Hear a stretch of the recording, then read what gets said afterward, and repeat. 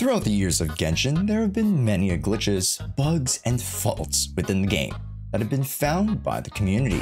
Whether they are less harmful like the recent Diluc and Venti glitches, or potentially as malicious as the external scripts to utilize Kaveh to delete Alhaitham and everything you hold dear. This one oversight is a tale that one seemingly can never come back from, and the repercussions are compounding. My name is Joshua, and welcome, Genshin F2Ps and Swipeys, to the Serenitea Pot Bug. Before we begin, make sure you guys smash the like and subscribe button, and here we go. In the English language, there's a word called a fable, a story with a lesson.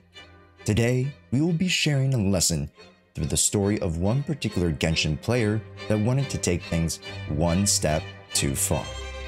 Meet Emeteiz, a once curious Genshin player that wouldn't know the repercussions of his actions until they were too late. As many of you are familiar with, the domains of the Serenitea Pot were implemented in Genshin 1.5 to provide a housing system that was able to be expanded and modified through crafting furniture and other decoratives.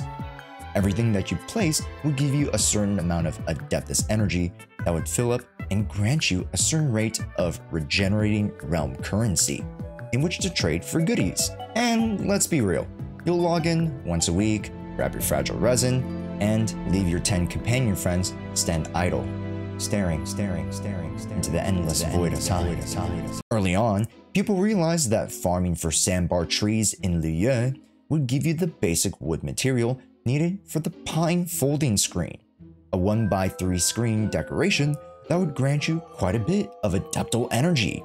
Soon, people were filling their teapots with these screens as they were space efficient, myself included, and this created what was known as the crypto mining meta. And if you're watching this from 2030, let me know how Shiba Inu and Dogecoin are doing. Now, as for Emeteiz, they had the bright idea to max out on collecting as many of these pine folding screens that they could fit into their inventory. And since the beginning of when the Serenitea Pot was introduced till now, they have been working to grab 9,999 screens. And they did it.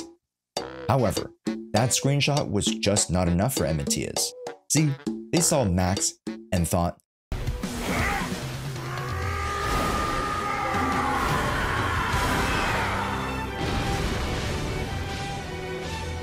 Now for a lesson.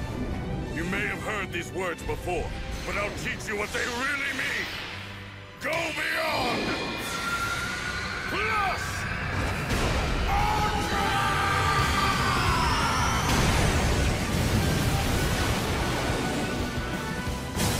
Because instead of leaving things as is, they went back to Tubby and tubbed him up some more with five craftings of the Jade Screen. Naturally, this would not necessarily hurt the player, as then you should be able to pick up the crafting furniture after.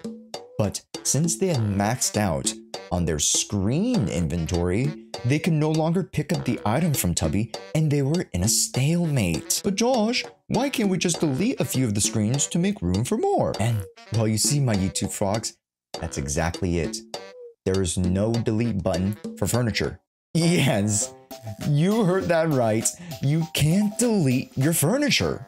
Which, when you think about it, the devs probably weren't thinking of someone like Emeteiz just waltzing in and maxing out a single furniture piece.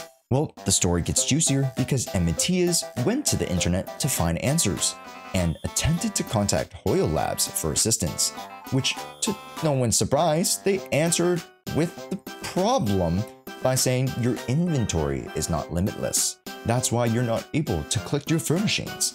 Um, no shit, Sherlock. There's no way a person who even remotely understood the issue could have written that out. Come on, be better, ChatGPT.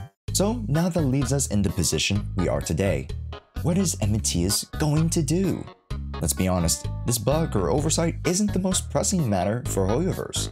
So for now, Emeteiz will be stuck without being able to craft and build upon their crypto empire. Did you enjoy the story? I know I did. Make sure to click on one of our next videos to see what we're up to next. Make sure to smash the subscribe button or you will be stuck crafting screens for all eternity. My name is Josh, and we'll see you in the next one.